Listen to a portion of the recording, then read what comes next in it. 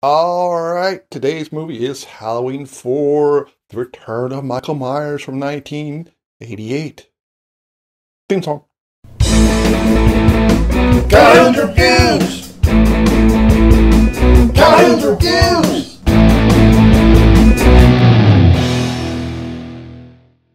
Okay, so I picked this Halloween movie because I've seen the first one. I think I seem to remember having seen two, uh, like when I was pretty young. Saw part of three.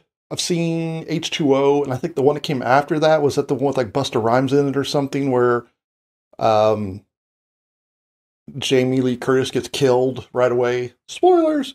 But I've kind of missed out on these middle ones. So I thought it would be interesting to see if this one was any good. And I was actually kind of surprised that I ended up kind of liking this. So we start off, we, of course, we ignore Halloween 3 because Michael Myers isn't in it, It's not related. So Michael, he is comatose, he's in a mental health place. They're getting ready to transfer him. All right, let's move him. and they mentioned that Laurie Strode had a kid. And of course, oh, that sort of gets Michael waking up. Did Hoffman say anything about living relatives? Yeah, a niece living in his hometown. Well, this kid, Jamie, she is living with the Carruthers. I thought they were like her cousins, aunt and uncles or something, but Wikipedia just says a foster family, and honestly, I don't care enough to go back and look. But I say they're li- she's living with this family, the Carruthers, but they don't really seem to be doing anything. Like conveniently through the movie, they're going to a party or something.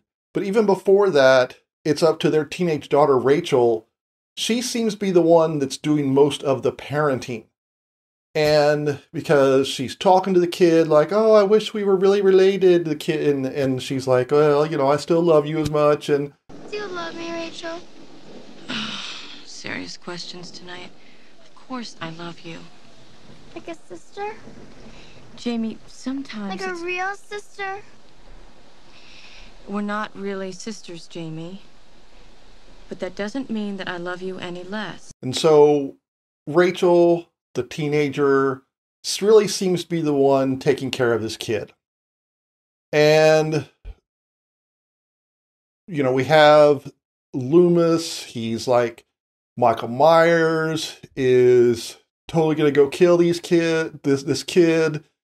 And, you know, it takes a while for the police to get there and things like that. And Michael Myers starts killing people. Really deviating from the formula, right? However, like I said, I kind of like this. Here's what I liked Michael is not the superhuman, unstoppable killing machine that he would become later on, or that somebody like Jason becomes.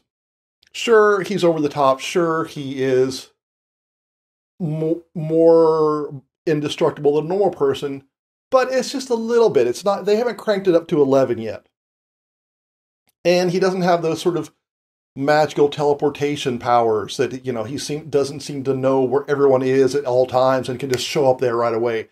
Takes him a little time to get to the town. Um, I also kind of like that when the town hears about it, they're kind of like, "Oh hell," and they get a lynch mob together, but that does not go well at all. They end up it ends poorly, and almost immediately lynch mob's like, "That was a mistake." And later on, they're even like, you know, let's let's let the police handle this. They're the ones who get paid. I'm out of here.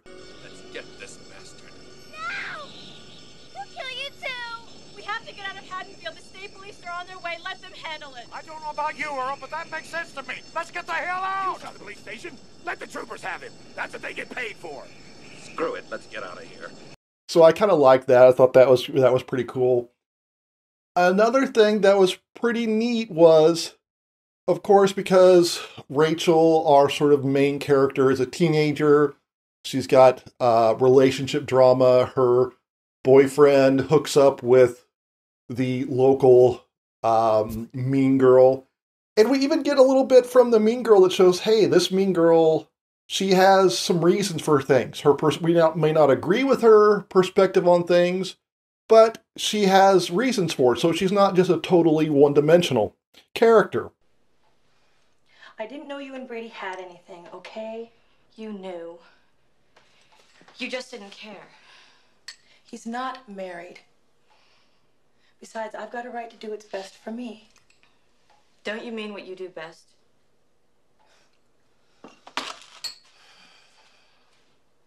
Wise up to what men want, Rachel. Or Brady won't be the last man you lose to another woman. Now, it did start a little slow. They're trying to set things up. But once it gets going, I kind of liked it. Four thumbs up. Should I watch the rest? When does the series get bad? What do you all think? You know what I'm going to say now. Leave a comment below if you want me to watch some more. And as always, if you do want to watch the movie, there's links below where you can buy it. I know they released just released a fancy new edition to come out with the current Halloween Kills, I believe is the name is the, is the current one. But there's also links below to where you can stream it and stuff like that.